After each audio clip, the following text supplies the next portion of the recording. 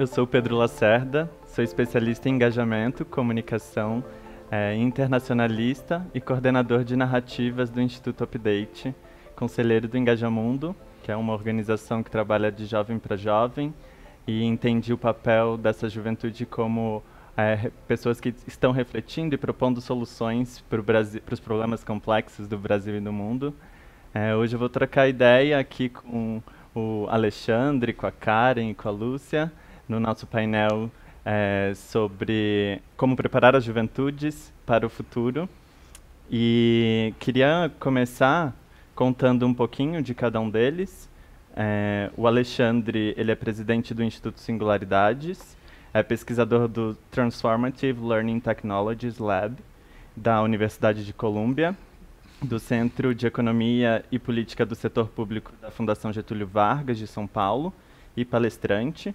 Também já foi secretário da Educação da cidade de São Paulo entre 2006 e 2012 e recentemente entre 2017 e 2019, além de ampla experiência como executivo em diferentes instituições governamentais e ONGs. É, também estamos com a Karen, Karen Canaan, que é sócia da Ecole 42 São Paulo, ou Escola 42 São Paulo. Ela é considerada uma, uma das melhores escolas de programação do mundo. É, a executiva atuou como diretora da Endeavor por seis anos, cursou especialização em empreendedorismo e liderança nas universidades de Harvard e MIT, e é pós-graduada em inteligência emocional pelo Instituto Albert Einstein. E a Lúcia Delanhello, ela é doutora em educação por Harvard e atualmente é diretora-presidente do Centro de Inovação para Educação Brasileira, o CIEP. Tem experiência multidisciplinar é, no público, privado e terceiro setor é, e destaca sua atuação como secretária do Estado de Desenvolvimento Econômico, Su é, Econômico Sustentável de Santa Catarina. É um prazer receber vocês aqui com a gente. Vai ser um momento de muitas trocas, a gente vai conseguir conversar, falar um pouco de educação. É, mas eu queria falar, iniciar nosso papo dizendo que hoje é, a gente vive uma situação no Brasil que o desemprego ele tem assolado bastante, principalmente as juventudes é, e que têm sido muito impactadas. E de acordo com o Atlas das Juventudes, que foi essa pesquisa lançada no início desse ano, é, durante a pandemia, é, um em cada quatro jovens acaba repetindo o ano e abandonando a escola. E com relação a trabalho, um em cada quatro desses jovens gostaria de trabalhar mais, é, mas não tem encontrado emprego ou acabou desistindo de procurar emprego. E um dos principais desafios para essa próxima geração é como que a gente vai preparar esses jovens é, para se colocarem dentro do mercado de trabalho. E aí a minha pergunta para vocês três, é, para a gente começar o papo, é, quais são essas perspectivas do ensino para esse futuro, é, pensando nessa nova geração? E aí essa geração a geração Z, é um termo muito do mercado, mas é, acho que vale a gente ter isso como ideia, que se a gente olha pela, pelos, pelas formas como eles têm interagido com o mundo nas redes sociais, o ir fazendo, construir o conhecimento a partir do fazer, é, bem maker mesmo, é, o, quais são essas perspectivas que vocês encontram que se relacionam com essa geração? Livre. É. Quem quiser começar. Posso começar é, dizendo que eu acho que não é preparar essa geração para o mercado de trabalho, é preparar essa geração para o mundo que ela vai viver, que é um mundo permeado por tecnologia, não só no mundo do trabalho, mas no mundo social, das relações sociais. E nós estamos vivendo um momento que eu acho que é um momento de inflexão da civilização muito interessante, de nós escolhermos qual é o tipo, qual é o papel e qual é a, a grande função da tecnologia na nossa vida. Né? Quando você olha hoje, os autores, tem alguns que colocam a tecnologia como algo inevitável, como a inteligência artificial assumindo várias funções que eram consideradas funções humanas e como se isso fosse inevitável. E eu vejo que, ao contrário, nós estamos num momento da civilização que nós temos que escolher que atividades e que tarefas nós queremos manter como atividades humanas quais são aquelas atividades que nós podemos e devemos transferir para a inteligência artificial e para a máquina. E isso vai requerer um posicionamento crítico da nossa geração e desses jovens que vão ser os grandes usuários e os grandes que vão ser os cidadãos daqui para frente, né, dessa sociedade, que vão ter que conviver com essas escolhas. Então, o que eu sinto é quando a gente fala de tecnologia e preparar os jovens, não é preparar para o mercado de trabalho, é para preparar para esse mundo que vai ser mediado por tecnologias e ele saber fazer um uso crítico e responsável dessa tecnologia. Né? Então, por exemplo, programação é uma competência digital, sem dúvida, né? uma nova forma de linguagem, mas não é a única para você entender e é, exercer a sua cidadania plena num mundo mediado por tecnologia. Né? É uma competência, mas que ela tem que ser acompanhada de outras competências digitais também, é, digitais e não digitais, para que você possa realmente fazer, é, ser um cidadão pleno e exercer todos os aspectos da sua é, experiência como ser humano no mundo. Eu vou pegar o gancho da Lúcia é, sobre educação para o mundo, né, e educação para a vida também. Então, que é no fundo é a mesma linha, mas é, eu quando estava na época de escola jovem há mais tempo, era o que você vai fazer da vida.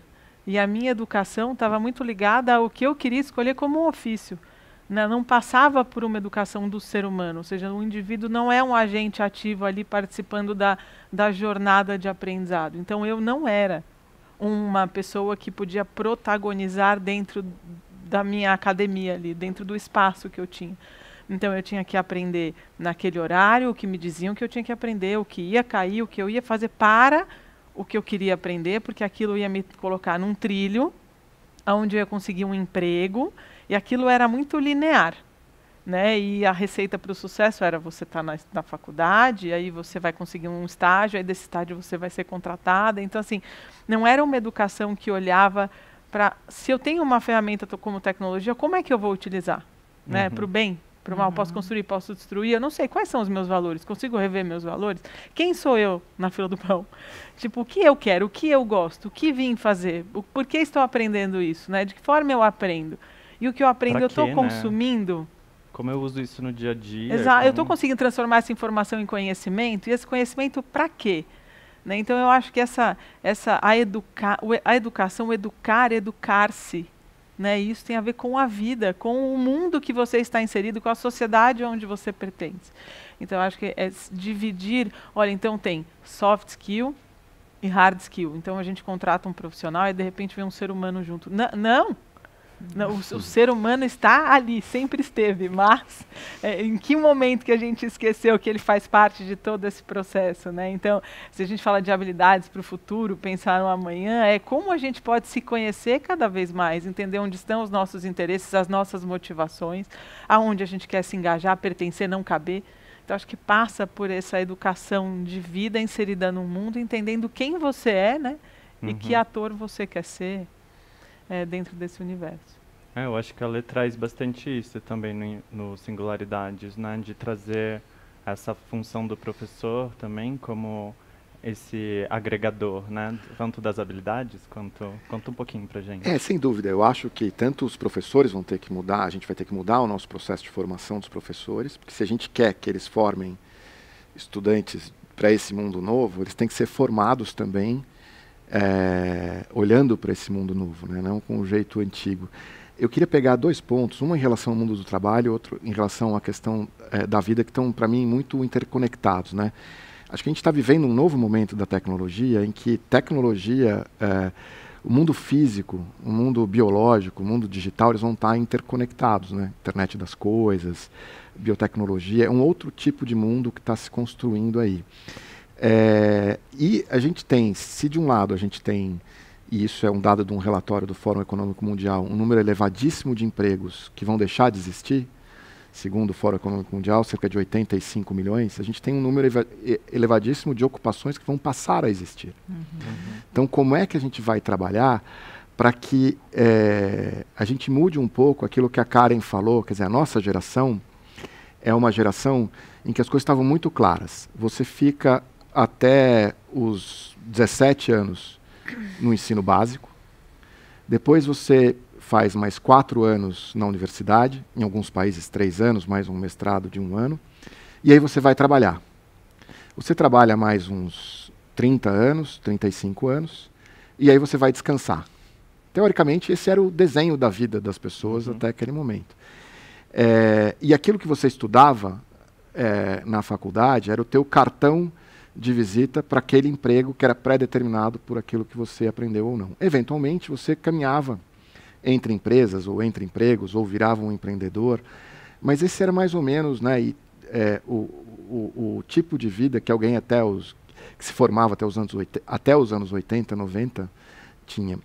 O que a gente tem agora diante de nós é um desconhecido, é um mundo em que as ocupações estão mudando muito rapidamente e em que os empregos estão deixando de existir, mas as o, o, quer dizer, os, os empregos deixam de existir, mas a ocupação não, a necessidade de ter alguém realizando não deixa de existir, são realidades novas. Né? Então, eu acho que a, tem duas mudanças que a escola precisa fazer. Uma é formar pessoas capazes de entender que elas vão ter que aprender ao longo de toda a vida delas, não mais parar num determinado momento ou fazer um determinado curso depois que se formou. Né? Entender que é, a sua carreira vai ser muito mais fragmentada e o que tem um lado do desconhecido, mas tem um lado do prazer de você poder ser mais de um, uhum. né? que as gerações anteriores não tinham. Aliás, eu roubei isso de uma conversa preliminar com a Karen. é, e a outra é que todo o espaço é um espaço de aprendizagem, não é mais só a escola. Então a gente precisa mostrar é, para essas crianças e jovens que é, cons conseguir trabalhar com eles o prazer de aprender, o prazer de fazer as escolhas do que aprender e que todo lugar é lugar de aprender, informalmente, é, na escola, fora da escola, é, na rede. E por isso a gente precisa formar, é, e aí voltar talvez a um grande educador que está fazendo 100 anos agora, que é o Paulo Freire, pessoas capazes, autônomas e, e que, tenham, é, e que tenham um pensamento crítico, que é algo fundamental para que elas possam fazer as escolhas. A escola antes no, nos entregava um volume de conteúdos muito restrito. Hoje o mundo nos entrega um volume de conteúdos muito amplo. E essas pessoas vão precisar saber escolher o que é melhor, uhum. seguindo princípios é, éticos e outros princípios que tenham sentido para a sua vida. Até para tentar trazer mais interesse desses alunos, né, de continuarem dentro da escola, fazer sentido estar na escola, aprendendo aquelas milhões de matérias e tudo para passar no vestibular e evoluir nesse sentido, mas a escola também de trazer é, outras informações que podem agregar no conhecimento desse aluno para ele, enfim, pensar o mundo lá fora, né? É, e eu acho que, e aí já puxando esse gancho, assim, de como que isso é construído também, é, sobre a programação. É, programação é uma das habilidades que estão dizendo aí que vai ser a habilidade básica no currículo escolar. E a Karen trabalha bastante com isso na Escola 42, não vou falar o nome em francês, é, que é que é esse novo é, essa nova esse novo currículo básico, né? E aí eu queria te perguntar, Karen, que é quais são essas habilidades básicas que você tem visto que contribuem também para o seu próprio projeto, mas também que você encontra e percebe que pode contribuir para esse ensino básico. Não é uma pergunta só para Karen, não, tá? É para você também. Tá bom. Eu acho que na questão que você falou de, de aprender matemática, né, ou programação, eu acho que eu aprendi matemática não para virar um matemático, né, mas para saber fazer conta. Então, acho que a, a programação, a lógica, está ali para você programar e não ser programado, em algum nível que isso significa para você. Então, o fato de você hoje, é, em muitos trabalhos que nós já fizemos, a gente se sentiu refém por não saber absolutamente nada de linguagem. Então, uhum. eu acho que ter a lógica, ter ali o pensamento crítico, o desenvolvimento relacional, o aprender a aprender, a colaboração, eu acho que tudo isso permeia o que é o universo de programar. Você não faz isso sozinho, você faz em colaboração. O coletivo diverso é o que encontra respostas para problemas complexos que a gente ainda nem sabe. Então, eu acho que vem com a matéria da programação uma oportunidade de você trazer, como o Alexandre mesmo disse, né, a vida é pedagógica. Então, uhum. se a gente continuar achando que a gente está indo para a escola aprender matérias para passar no vestibular, a gente passou pela escola sem passar por ela. Porque a gente olhava, eu preciso passar no vestibular. Então, o passar é um verbo que te, né, te convoca a viver. Então você precisa passar pelas matérias que estão ali. Por quê? Porque importa você saber lá, importa você saber onde você está no mundo, que a geografia importa, você saber o seu passado, então a história. Então, quando eu olho para a escola hoje como mãe, tendo filhos pequenos, eu olho para um lugar que um não faça um desserviço de valores, né? Então assim, como é que eles enxergam que a criança é um ser cheio que pode extrair, não vazio que tem que imputar? É assim que a gente olha para os cadetes ou para as cadetes hoje, que são crianças que nasceram há faz tempo. O que, que são os cadetes? Que são os alunos e as alunas da 42. Ah, tá. Então, né, são adultos, mas são crianças que nasceram faz tempo. Então, já chega numa andragogia, já chega com crença, já sabendo, achando que estão prontos ou que precisam estar prontos, que tem resposta. Não, não tem. A gente está pronto de prontidão. Na, na escola, o interessante seria, olha, você vai... A, aqui a gente te ensina não a aprender, mas a seguir aprendendo. Uma coisa que o Alexandre falou também. Então, como é que você segue aprendendo sempre de prontidão a dizer, não sei, mas vou saber. Não sei programação, mas vou saber. Uhum. Sei pouco disso, já não vejo, vou ver. Então, sim, eu acho que a programação é, é algo importante que deveria estar tá dentro da lógica, assim, a lógica em si, não necessariamente a linguagem de programação de um currículo. E quando a gente fala de habilidades, é, eu acho que é entender que o indivíduo se desenvolve para conviver em grupo, em comunidade, trabalhar no coletivo, né, entender a escuta, é, a, fa, a comunicação, então que seja empatia, qualquer que seja o nome de human skills que a gente quiser dar, que tem um montão, mas que a gente consiga entender que ali tem sim um indivíduo que vai trazer né, sua crença, sua história de vida, seja ele jovem ou o momento que ele está vivendo, e que aquilo vai estar tá ali, dentro daquela jornada de aprendizado.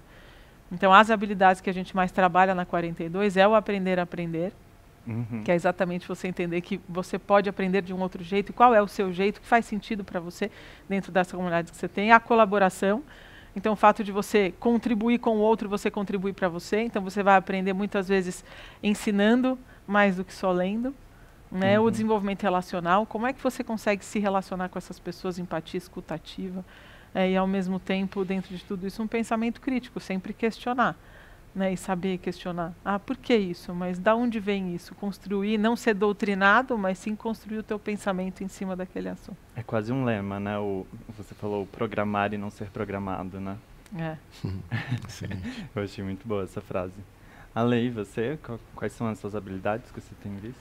Eu acho que assim, é, acho que a Karen foi muito feliz, né? Eu acho que tem habilidades é, que a escola já desenvolve ou, ou deveria desenvolver, é pensamento crítico, resolução de problemas, resolução de problemas complexos, habilidades interpessoais, intrapessoais, então colaboração, flexibilidade, é, empatia, ética, são todas questões que são muito relevantes para esse mundo novo que a gente está vivendo e está construindo.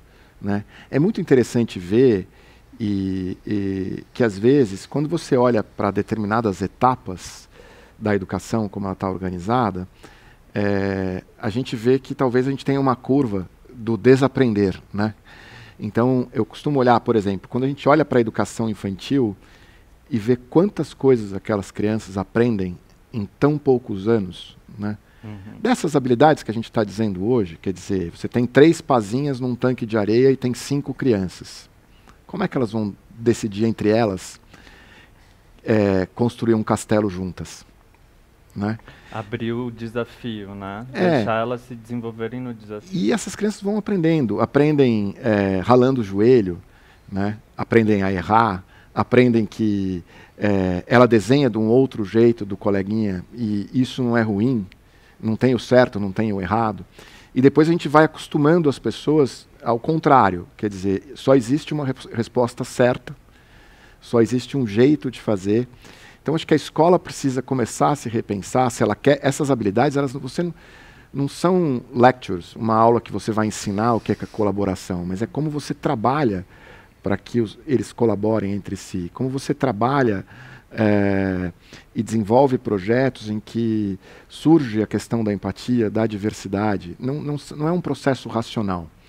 E aí, só para terminar, com outro exemplo que é muito interessante, é, o mundo tem vivido, aos trancos e barrancos, o Brasil e o mundo, a inclusão das pessoas com deficiência na escola. E é muito interessante ver que as gerações anteriores aprenderam que é, as pessoas com deficiência têm direitos e elas têm os mesmos direitos que as que não, a princípio, não têm nenhum tipo de deficiência, mas é, isso foi um processo racional. É muito diferente de uma criança que aprende a brincar com outra dentro da escola. Então, assim, a escola precisa apostar na vivência, precisa apostar na construção desses saberes a partir da pedagogia e não é, do jeito tradicional de ensinar. Esse é um grande desafio para que a gente consiga desenvolver esses valores tão importantes como a Karen disse. Sim. É, eu queria escutar um pouco da Lúcia, porque ela trabalha no, no CIEB, que é o Centro de Inovação para a Educação Brasil, Brasileira. É, e eu queria escutar um pouco de você, porque provavelmente vocês conseguem também ter uma noção do que está sendo desenvolvido nas escolas e o que, que vocês estão vislumbrando para esse futuro? Eu falo muito do futuro, mas é, é, o futuro é quase o agora, né? A gente trabalhar no agora para pensar nesse futuro. E eu queria saber se vocês já têm vislumbrado algumas habilidades nesse sentido.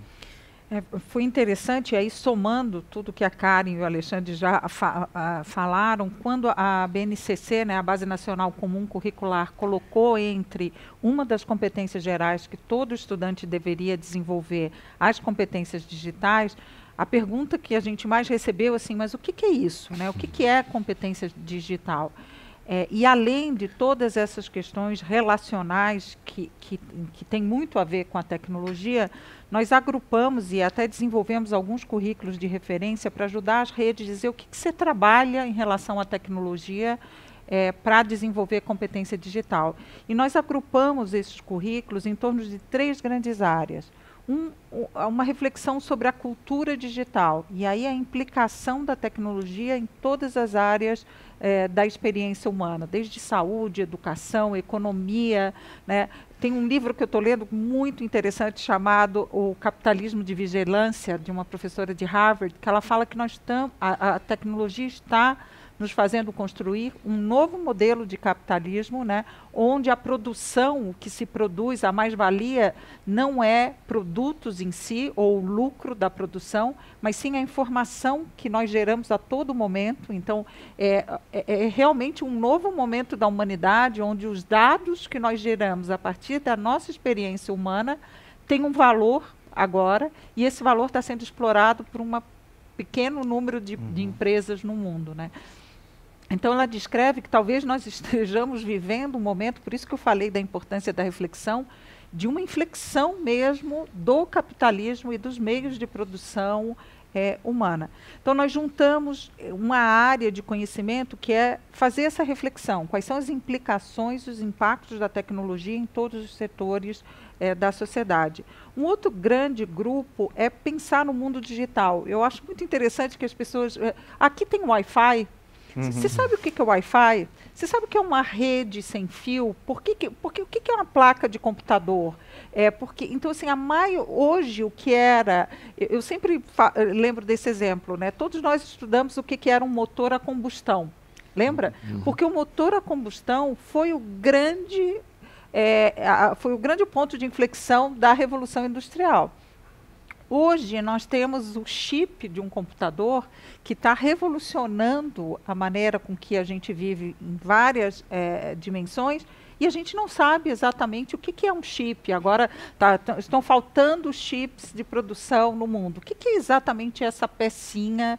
Né? Então tem um conhecimento é, quase que físico da tecnologia que todos os estudantes precisam aprender minimamente.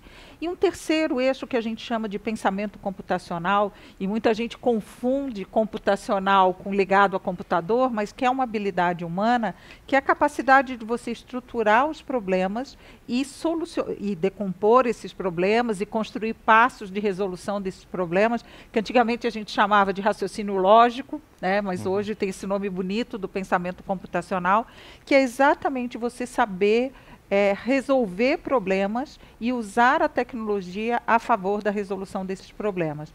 Então, mundo digital, cultura digital e pensamento computacional são três grandes áreas que, claro, tem vários conhecimentos embutidos aí em cada uma dessas áreas, mas que nós consideramos essencial para que todos os alunos, todos os estudantes brasileiros tenham um mínimo de conhecimento para serem cidadãos plenos nessa sociedade do século XXI.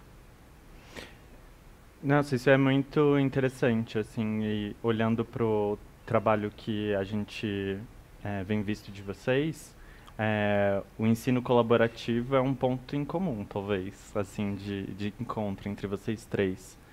É, tem um, um, e esse ensino colaborativo, ele torna esse indivíduo protagonista da próprio, do próprio conhecimento, então ele busca o conhecimento ativamente, ele quer entender aquele conhecimento atrelado ao universo e à realidade dessa pessoa. É, a, a Escola 42 tem um jeitinho um pouco diferente, assim, e é, tem um conceito chamado Human Coders. E queria entender um pouco do que é esse conceito e qual que é a, o, por que, que vocês enxergam ele como importante para essa transformação social? É, você falou do jeitinho diferente, né? Não tem, não tem melhor ou pior, só tem diferente. Né? e é muito importante que as pessoas tenham hoje a opção, né? a oportunidade de escolha, dizer, olha, existe um método que combina mais com a minha forma de aprender, e se eu não me, se eu não me identifico aqui, eu tenho outro método que é o tradicional, e eu tenho um curso curto, um longo, um profundo, um que é gratuito, como a 42, ou um que paga. Então, ter a opção de escolha para aprender tecnologia e entrar no mercado digital é muito importante. Mas o que é um human coder? Né? Para 42, é, a, o início de todo o processo é um jogo. Uhum. Então, assim, se você tem mais de 18 anos, você pode jogar um joguinho e fazer parte do processo de seleção. É um joguinho que não tem nenhuma instrução. Então a gente vive recebendo no Instagram falando, pô, mas não tem um enunciado, mas não é um teste, uma prova, é um jogo. É e aí já testa. Aí já leva duas horas. Aí fala, mas vou ficar duas horas nesse teste, então já testa resiliência, já entende uhum. a garra, curiosidade intelectual. Então tudo tem um porquê, né? Tem uma segunda fase, que é um papo onde a gente explica, olha, 42 é um lugar onde você aprende entre pares, aonde é 24 horas, você existem contornos, é uma liberdade assistida, você vai ter, você vai ter que gerir teu horário, né, é gamificado. Então não é tão difícil que você não consiga sair, mas também não é tão fácil para que você se desmotive estar. Então é um lugar onde você precisa ajudar, ser ajudado e a colaboração. E tem pessoas que falam, não, obrigada, não faz sentido para mim. E outras falam, meu Deus do céu, até que enfim chegou um modelo para mim. Uhum. E aí a gente segue numa imersão de 20 dias, aonde muito mais do que estar para passar na 42, você vai passar por você. você vai errar muito. Na 42 você entende que um human coder entende que o zero não te crucifica, o erro não te elimina então, assim, faz parte do jogo, da vida, você não ter manual. Uhum. Na 42 também. E aí você tem que confiar no processo e em você. E aí todo mundo pergunta, mas o que, que é isso? Como eu sou avaliado? Como eu não sou? Mas por que, que não tem? Eu não tenho feedback? Não tem. Mas é uma simulação da vida real mesmo. Então você vai se frustrar, você vai ter que pedir ajuda, vai ter que aceitar ajuda, vai ter que, se você sabe mais, explicar para quem sabe menos. Então, assim, todo esse processo faz você conhecer os teus códigos antes de uma linguagem. A gente até brinca, eles estão lá para aprender ser, mas eles vão aprender ser primeiro. então tem uma linguagem do ser aí que é e tem gente que não dá conta. Não dá conta, diz assim, nossa, mas eu, como é que eu vou explicar para o meu pai aos 39 anos que eu tirei zero? Uhum. Para tudo tem uma primeira vez. E tá tudo bem, você segue no processo mesmo, porque a gente aprende, eu aprendi, a gente, todo mundo é muita gente, né? Nunca é tempo demais. Mas eu, eu era resumida a uma nota. E essa nota. A, todo a, mundo, né? É, eu. É, assim, essa nota era dita em alto e bom tom. Né? Karen, é, 4 e 45. Aí você fala, não volto para cá amanhã.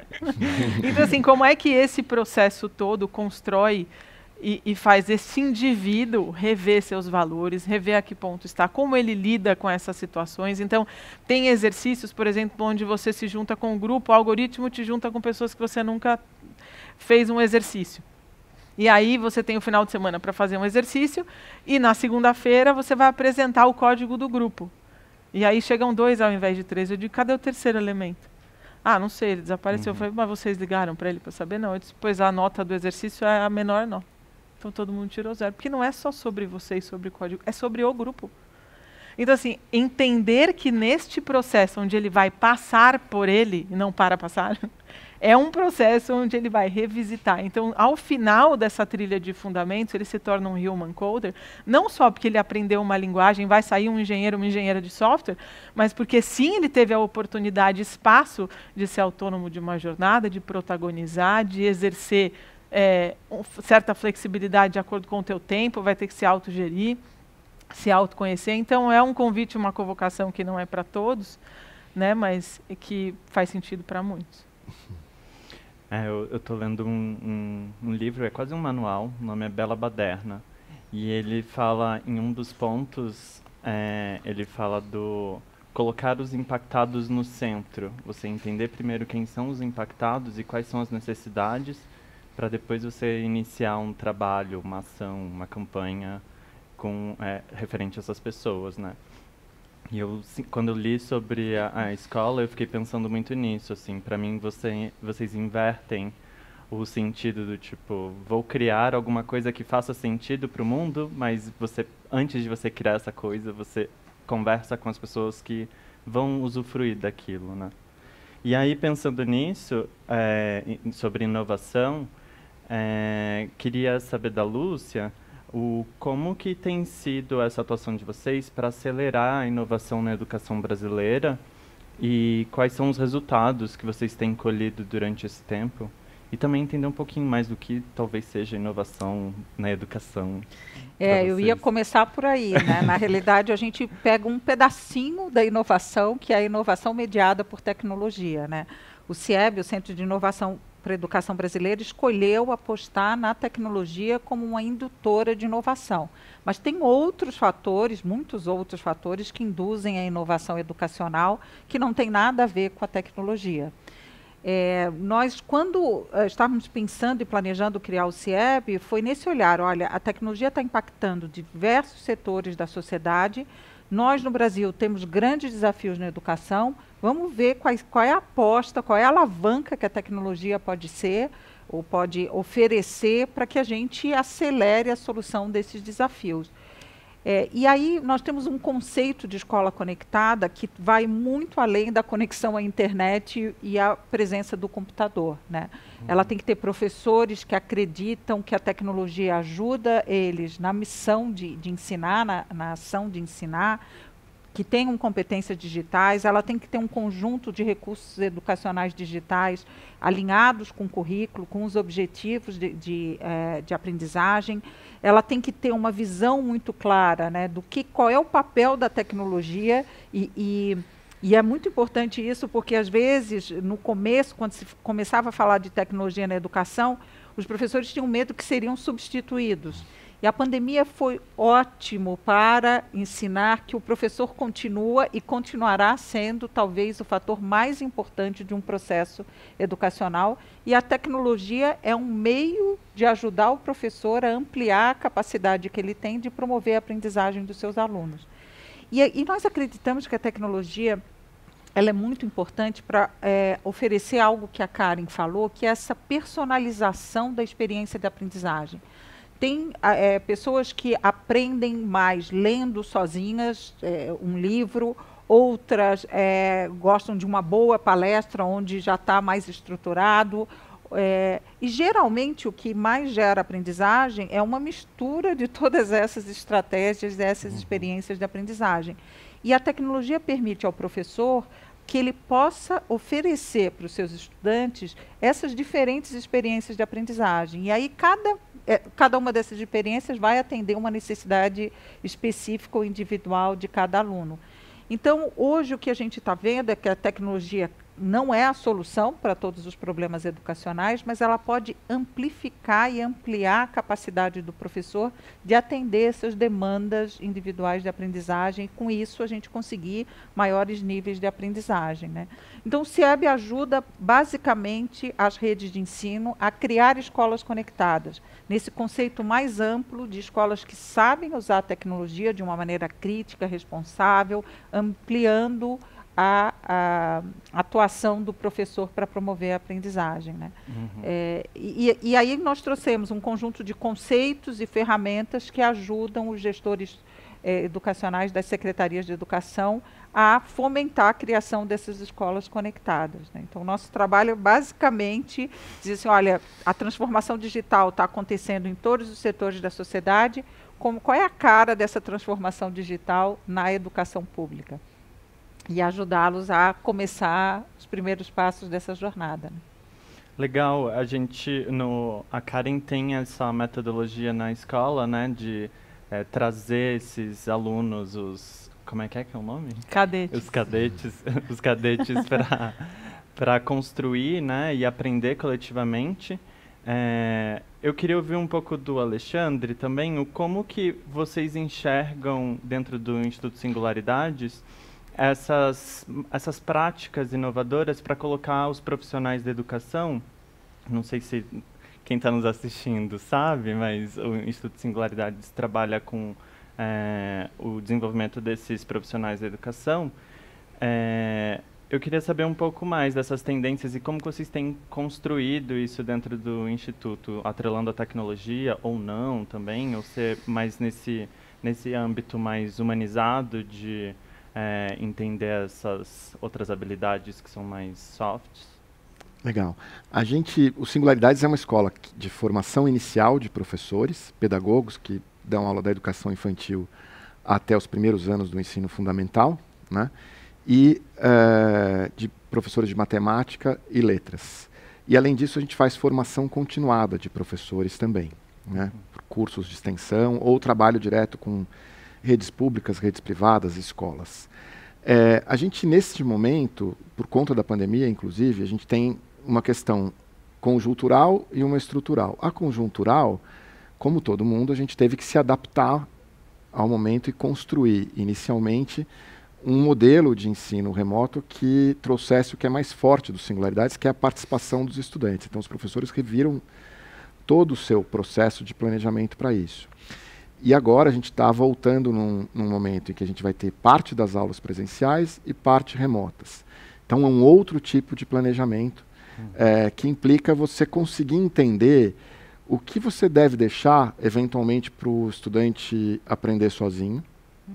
mediado, o que você deve deixar para que ele possa aprender de casa, mas com alguma interação com os colegas e qual é o momento, o que deve ser legado para o momento é, presencial. Então, este é um desenho, é, a gente já estudava a questão do híbrido e tal, mas é um desenho do que está acontecendo este semestre, nesta conjuntura.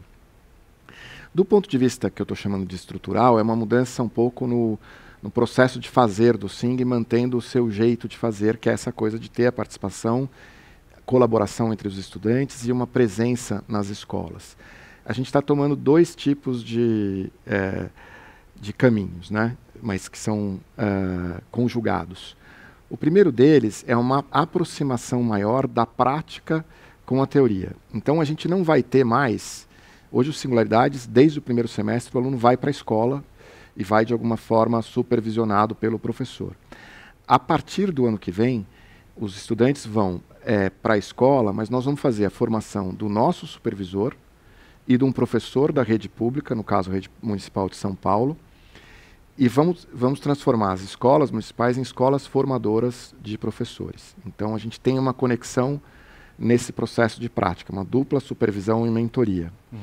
Mas mais do que isso, é, o próprio currículo muda para quebrar a barreira entre a teoria e a prática. Então, essas duas coisas, aquilo que ele está aprendendo, de alguma forma, tem que ser é, parte desse processo. Que ele está aprendendo na escola, ele tem que estar tá sendo, é, fazer parte do processo curricular e da sala de aula.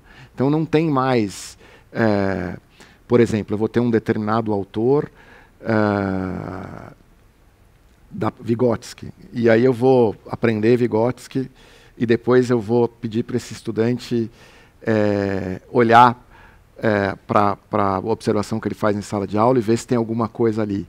Uhum. Não, na verdade, o que a gente está fazendo é uma mudança em que esses conceitos eles estão integrados com aquilo que ele vai ter que fazer na escola, com o roteiro do que ele vai ter que fazer na escola e com a avaliação, que deixa de ser uma avaliação sobre se ele entende de Vygotsky e passa a ser uma avaliação sobre se ele é capaz de, no campo, perceber. Não só perceber, mas lançar a mão do que ele aprendeu como um futuro professor. Então, esta é uma mudança grande. E do outro lado, maker e tecnologia a gente entende que o professor, se a gente precisa de um professor que saiba construir é, é, seu plano, seus planos de aula, todo o seu processo é, na sala de aula, usando é, a tecnologia o Maker, para ele saber isso, ele precisa experimentar na sua, na sua própria formação. Então, a gente também está fazendo uma mudança no currículo, é, e o SING vai ter um laboratório para a formação inicial e futuramente continuada de professores, para que os nossos professores já na graduação experimentem, por exemplo, como é que você pega um currículo de ciências e, e monta um plano de aulas no laboratório Maker. Né? Porque no futuro, talvez, a gente não tenha laboratórios, né? A escola seja um laboratório, o uhum. professor lance mão daquilo que é mais importante para ele naquele momento, né? É, e, e, a gente também está fazendo um projeto grande com a Prefeitura de São Paulo, que deve começar no ano que vem, onde a gente vai formar os professores de tecnologia do município, é, das escolas de ensino fundamental, então são mais ou menos 600 mil alunos, e professores de ciências, para que juntos eles possam criar também planos de aula a partir do currículo da cidade de São Paulo. Então, no fundo, o que a gente está vendo é, é a escolha pedagógica, como a Lúcia colocou muito bem, e, e a Karen também. Quer dizer, a tecnologia, ela, ela pressupõe uma escolha pedagógica anterior. Né? Uhum. E é por isso que os professores também perderam medo, e por isso que as escolas também perderam medo, porque entendem o seguinte, olha, é, ela sozinha, né, ela muda, inclusive. Né? Hoje a gente faz num telefone coisa que não sonhava fazer num computador há 10 anos atrás. Uhum né, e daqui a 10 anos talvez a gente te, esteja diante de outras inovações. Mas essa escolha pedagógica baseada naquilo que a gente entende que os nossos estudantes devam aprender, nos objetivos de aprendizagem, em quem a gente quer formar, ela é fundamental e é permanente. Posso só adicionar uma coisa que o Alexandre claro. falou, que eu acho muito interessante. Hoje, quando me perguntam qual é a competência digital que o professor precisa para implementar o ensino híbrido, eu falo, não é digital, é uma experiência de planejamento, é uma competência é. de planejamento. E aí você falou que, para mim, eu acho que o grande, a grande desafio pedagógico daqui para frente vai ser fazer essa decisão. O que, que, vale a pena trabalhar presencial, de forma colaborativa, e nem, nem de forma, porque o, o digital também pode ser Sim. colaborativa, né? não é, é o que, que pode ser e deve ser trabalhado autonomamente pelo estudante mediado por tecnologia e o que, que pode ser totalmente é, autônomo pelo aluno, a hora que ele quiser, como ele quiser, digital. Então, o professor conseguir pegar um conjunto de conhecimentos ou de, né, de objetos de, de aprendizagem e conseguir fazer esse planejamento, para mim é a grande competência que nós temos que fortalecer nos nossos professores. Não é digital de saber usar é, a tecnologia, é. mas é exatamente de pensar o ensino híbrido com tecnologia, né, a tecnologia viabilizando atividades pedagógicas e experiências de aprendizagem. Né? Exatamente. Mas é, é muito importante o que você está dizendo, e a gente tem que bater muito isso, porque a tecnologia tem um charme que é Exatamente. quase irresistível. É. Né? Mas, por exemplo, você vai às vezes numa escola e vê lá um laboratório maravilhoso, né? cortadora laser, coisas Exatamente. espetaculares e tal. E assim, esse laboratório pode ser usado é, de um jeito que você ensine um aluno a usar uma cortadora laser uhum. ou a uhum. montar, ou uhum. fazer um experimento de robótica que seja fazer um carrinho andar. Sim. Agora, você pode usar esse mesmo laboratório para ensinar massa, velocidade, de um jeito que as coisas. Então, acho que é essa intencionalidade que uhum. você colocou que a gente tem que buscar pra, até para desmistificar o uso da tecnologia, É né? verdade. É, é, tanto para um lado quanto para o outro, né? Sim, sim. Que até isso está polarizado no mundo. Exatamente. Como se a tecnologia fosse solucionar magicamente todos os problemas Ou de como se fosse algo né? que não serve para nada. É, Ou então de destruir tudo e É. Exatamente, é, é. é a culpada, somos a vítima. O que, o que eu acho que vocês trazem, assim, que está bem forte para mim é, é o, a- dar autonomia para esse aluno, né, também. É atrelar a tecnologia com o como dar autonomia e esse aluno protagonizar o que ele quer, o que ele está desenvolvendo ali, né. É, eu penso muito nisso, eu, trabalho muito com política, então eu fico pensando no como que a gente desenvolve a consciência política desses jovens na escola a partir do fazer também, porque eles convivem, eles vivem nas suas realidades. E como que a gente traz isso para a realidade da escola? Para mim, é, seria um, um, um, um a mais que entraria num currículo escolar para se pensar o que, como é essa atuação, essa participação desse jovem dentro do ambiente do, do ser político, né? Pode falar, Lu. Não, Pedro, eu só ia acrescentar uma, um ponto, porque eu acho que a gente tem que ter um cuidado quando a gente fala também de tecnologia, autonomia para o estudante, como se o estudante pudesse aprender sozinho, eh, se deparando com a quantidade enorme de conhecimentos que existe na rede. Né? Então, muita gente usa essa, essa possibilidade da tecnologia para reforçar aquela ideia individualista de eu, eu Hum. aprendo sozinho, eu não preciso de ninguém ninguém. para aprender, eu não preciso ir para a escola. É, e que não é verdade. Né? Eu acho que outro ponto importante ser desmistificado é que os jovens conhecem tecnologia. Não, os jovens são usuários de tecnologia, mas Perfeito. eles não sabem essa postura crítica, essa tem uma- uma- um estudo muito interessante realizado em mais de seis países do mundo com jovens de 16 a 18 anos, perguntando como é que você escolhe quando o Google te dá, eh, você faz uma pesquisa no Google, ele te dá as, as respostas, qual é o critério que você usa para selecionar qual, qual é a resposta mais adequada? E oito em cada dez estudantes disseram, eu pego a primeira ou a segunda, sem perceber que às vezes está anúncio. Agora o Google é obrigado a colocar anúncio, mas antes mesmo.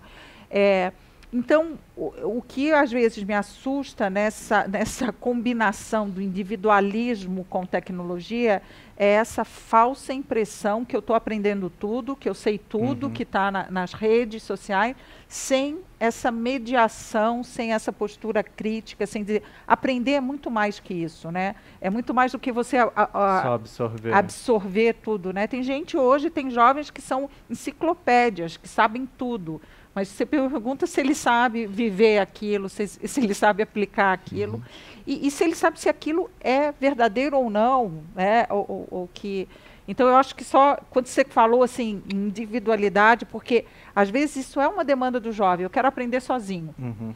Tem muito, eu ouvi, me assustou muito, muitos jovens dizendo assim: eu estou adorando essa pandemia, porque aí eu aprendo sozinho, na minha casa, no meu quarto. E eu falei: não, não, você não está aprendendo sozinho. A gente é ser humano, a gente precisa conviver, né? E, e o conhecimento que você está acessando foi construído por outras pessoas, foi mediado por outras pessoas. Então, essa ideia do individualismo também eu acho que a gente tem que ser cuidadoso quando fala de aprendizagem e tecnologia. Ótimo que você trouxe isso. É, eu queria mudar um pouco, um, um pouco do assunto, a gente tem pouco tempo, mas é, que eu acho que é um assunto muito importante. A gente está vivendo, é, é, principalmente esse ano, com o ministro da Educação falando é, de inclusão. E aí eu queria ouvir um pouco de vocês, como que vocês enxergam a inclusão dentro da educação e essa, é, o uso da tecnologia para fortalecer essa inclusão se vocês acham que ainda é muito fraco, se acham que ainda estamos longe de atingir isso, como que vocês têm percebido essa inclusão? inclusão eu digo não só de jovens deficientes, mas também de é, diversidade como um todo, pessoas transgêneres, é, pessoas pretas, é, todo mundo que a gente precisa considerar dentro desse ambiente escolar. Olha, é, ainda é um desafio, no meu entendimento, até pela, pela própria natureza da escola. Né? A escola ainda é aquela escola industrial feita para pessoas que estão ali numa média. Né? Uhum. E todo o processo da escola muitas vezes é baseado nisso. Então a gente tem vários tipos de questões relacionadas à inclusão. Quando a gente olha, por exemplo, para as pessoas com algum tipo de deficiência, é, não basta só você ter um espaço adaptado para esta pessoa. Né? Você às vezes precisa lançar mão de tecnologias assistivas que ajudam a pessoa a superar determinadas questões para que autonomamente ela possa realizar algumas tarefas. Às vezes nem essa tecnologia basta. Às vezes precisa de uma pessoa junto para possibilitar com que ela consiga realizar é, essas tarefas. Então, eu acho que ainda tem um, tem um caminho. O Brasil é um exemplo, um bom exemplo de, de, de, inclusão. É, e por incrível que pareça, é, ao contrário do que o senso comum imagina, as escolas públicas fazem melhor do que as escolas privadas, muitas uhum. vezes, esse processo de inclusão, porque tem que se preparar, inclusive com recursos humanos, para poder fazer isso. E muitas vezes as escolas privadas é, acabam lançando mão de algum tipo de artifício, ou os pais mesmo não se sentem à vontade. É, eu, eu vivi isso em escola pública, né? E eu, aliás, tenho história de vida com isso. Eu tenho um irmão deficiente que estudou em escolas especiais tenho um sobrinho que estudou já nesse período de inclusão. Então, eu sou, já fiz uma, um PhD informal sobre isso, além do meu trabalho como secretário. Tem um outro tipo de inclusão, que é aquele que você estava falando, de grupos, que, que aí é um outro.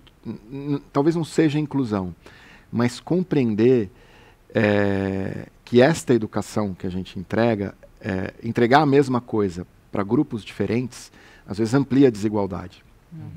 Então você tem grupos mais fragilizados é, e que tem, e são mais vulneráveis. Qualquer pesquisa que você faz no Brasil, você vai ver, por exemplo, que os pretos, meninos e meninas, têm desempenho é, muitas vezes inferior é, e estão num, nos grupos mais vulneráveis da nossa população. Não tem desempenho inferior por, por uma questão cognitiva, mas porque tem uma série de vivem em situação mais vulnerável, em geral, do que os brancos. Né? Uhum. E, e, e, aí o que, que acontece? Você precisa trabalhar, e o poder público precisa trabalhar, não só as escolas, para reduzir essas vulnerabilidades. Ninguém aprende com fome, ninguém aprende numa casa desorganizada, ninguém aprende se. É difícil aprender quando você não tem um lugar, a gente viu na pandemia, né? Uhum. Não basta você distribuir um tablet uhum. se você tem cinco pessoas num cômodo. Exatamente. Né? Então, é, a, se a gente quer, de alguma forma, trabalhar a inclusão desse, desses grupos mais vulneráveis da sociedade, a gente precisa entender que, além das políticas educacionais propriamente ditas, do muro para dentro da escola, o Brasil precisa ter políticas do muro para fora da escola que façam com que essa criança tenha, e esse adolescente tenham tranquilidade para estudar. Tenham tranquilidade para não ter que abandonar a escola, eventualmente, para trabalhar para apoiar a sua família. Isso a gente está vendo hoje no Brasil. O trabalho infantil, que era algo que estava praticamente erradicado no Brasil há 10 anos atrás, está voltando por conta da pandemia. Uhum. Porque as famílias estão sem recursos. Né? Porque o trabalho informal ele foi, de alguma forma, meio dizimado, porque as pessoas não circulam, enfim. É, portanto, acho que é, são dois tipos. Eu acho que tem, tem a questão das pessoas com deficiência, é, que aí tem tecnologia para isso, tem metodologias para isso, né? E as, muitas barreiras já foram é, quebradas, mas a gente precisa continuar, inclusive na cabeça dos próprios pais e familiares, que às vezes não acreditam nos seus filhos. E a outra é da população mais vulnerável, que a escola sozinha não vai conseguir levar isso adiante. Ela precisa ter políticas específicas para esses grupos dentro da escola, mas a gente precisa do poder público apoiando do muro para fora para que essa criança tenha um caminho suave, sem querer falar da cartilha que ninguém gosta, mas é, de mas casa para a escola e para aprender. conhece. Então tá bom. O Pedro nem sabe do Eu que a gente está é falando. Que cartilha é essa? Espero que não saiba. Eu vou pedir para vocês serem bem breves assim, porque o nosso tempo está apertadinho. É, e aí depois eu vou para as considerações finais. Maravilha. Eu vou trazer para o meu universo de 42, onde dos 500 alunos a gente tem 40% é, de vulnerabilidade, 25% de mulher, é, 65% nunca programou. Então é uma, a gente tem neurodiversidade de autista, TDAH, é, trans, independente do recorte social, o que os une ali é um comportamento de estar aberto para o novo e de querer de fato aprender. Então, quando a gente fala de inclusão digital produtiva, eu acho que a gente trabalha já numa agenda positiva que está deixando a gente cada vez mais feliz por entender que aquele a, a 42 está longe de ser a solução, mas acho que uma grande contribuição para o universo acadêmico, mostrando que não tem melhor ou pior, tem diferente, existe um novo jeito e que a gente pode ser inspiração e uhum. pode fazer junto, né, como um pode ajudar o outro a seguir. E acho que no mercado de trabalho, é, destruindo ou diluindo um pouco aquele estereótipo de quem programa. Né, e trazendo exemplos, tirando o estereótipo que aprisiona e trazendo exemplos dizendo, olha, esta pessoa que um cadete disse para mim, olha, eu sou negro, pobre, gay, eu nunca achei que eu fosse passar. E o meu pai disse que esse negócio não era para mim. E eu estou aqui para provar. Em seis meses ele está trabalhando numa empresa de inteligência artificial, onde ele diz ninguém me tira hoje o quanto eu sou programador. Então, quando a gente olha para o impacto no fim dessa inclusão digital produtiva, a gente fica muito feliz. Tem muito por fazer ainda. Acho que o pronto é estar de prontidão para cada vez melhorar mais do ponto de vista de diversidade e inclusão, mas eu vejo que todos nós já fazendo, estamos aqui falando, colocando o assunto na mesa, já é fazer é, algo para mudar. Você quer contribuir? É, não, eu já vou para as considerações finais, já é, dizendo que eu acho, de novo, né, que a tecnologia, o Alexandre falou que, que tem essa atração da tecnologia como algo novo, como algo atraente, como algo jovem, mas para mim é, ela está trazendo, a tecnologia traz esse momento de inflexão da nossa civilização, da nossa economia, quando você vê como essas grandes empresas de tecnologia estão se organizando no mundo e estão tendo é, tem, tem, um diálogo que eu achei muito interessante entre o Yuval Harari e o Mark Zuckerberg. Não sei se vocês assistiram, onde o Yuval fala para o Mark Zuckerberg que assim, ah não, o livre arbítrio, cada um faz. Quem não gosta de usar tecnologia não usa. E o Yuval traz assim, olha, nunca na história da humanidade a tecnologia possibilitou tão poucas pessoas conhecer todos os dados da experiência humana, agregar esses dados e explorar esses dados, explorar a experiência humana com recomendações, com sugestões. Então, talvez nunca tenha sido tão importante nós chamarmos né, esse nosso, essa nossa postura crítica do que, que nós queremos com a tecnologia. Né? A tecnologia ela é essa grande viabilizadora de uma série de futuros possíveis para o ser humano, mas nós vamos ter que escolher quais são esses futuros. E, e, eu acho que é muito importante nós prepararmos as nossas crianças e jovens para serem é, participantes dessa escolha, né? porque afinal de contas é eles que vão viver nesse Sim. mundo Uhum. É, e que nós estamos fazendo essas escolhas para eles. Então, nós temos que prepará-los, dando todos os subsídios, os conhecimentos cognitivos, emocionais, para que eles façam essas escolhas né, de como, qual é o papel da tecnologia na sociedade do século XXI. Afinal de contas, é a juventude que vai estar nesse futuro e que vai estar tomando as decisões sobre esse, esse, o futuro das outras gerações. Também. A gente precisa pensar essa juventude não só como é, o, pensando o futuro do nosso país do, e do mundo, mas também pensando o que, que a gente quer deixar para esses jovens, né? É, foi muito gostoso bater um papo com vocês aqui. A gente já está chegando no fim e eu tenho certeza que ficaram muitos desafios e muitas novas ideias para a galera que estava assistindo a gente é, no YouTube. E queria agradecer em nome da Fundação Telefônica é, a todos vocês, Alexandre, Karen, Lúcia, e a você também que está aqui assistindo com a gente.